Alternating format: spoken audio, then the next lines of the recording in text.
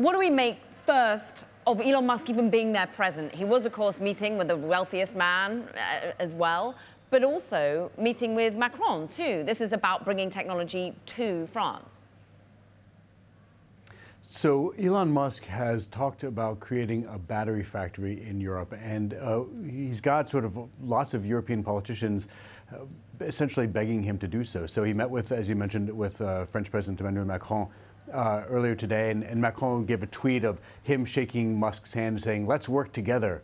Um, he met uh, yesterday with uh, the Italian leader Giorgia Meloni, um, and who and he's apparently talked about potentially putting the battery factory there. People have talked about Tesla putting this battery factory in Spain. And so he's sort of got, as sometimes happens with these kinds of investments, sort of politicians desperately trying to get him to invest in their country and is using that uh, as a way to sort of um, you know, gather them around him. And, and, and, and he has made himself the center of attention in that respect.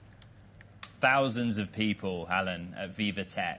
Elon Musk walks on stage there's a big reaction. Talk to us about kind of the star power of this man in France in particular.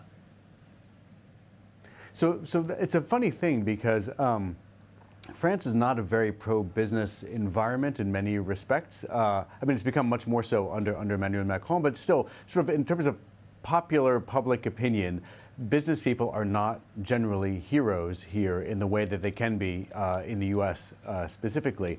But Elon Musk has managed to really transcend that. Um, you know, in addition to meeting with politicians, as you pointed out, he had lunch with Bernard Arnault, um, who, by the way, even though again their their relative uh, wealth goes back and forth on who's the richest man in the world. Arnault is not like a star like Musk is. I mean, he walked into this room, you could feel the energy and the desire that people had for Musk to uh, to be there. They had to move it from uh, you know their original venue to a new uh, place where they had 4,000 seats, so they could fit all the people who wanted to come see him. Uh, when yes. at the end of this of this sort of 45 minute session, when um, when Musk agreed to take questions, it was it was like pandemonium in the hall. It was really yes. he really is like a, a rock star, which is very surprising here.